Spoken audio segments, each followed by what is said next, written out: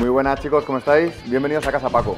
¿Qué tiene Casa Paco? En Casa Paco preparamos eh, hasta 70 tipos de tortillas diferentes.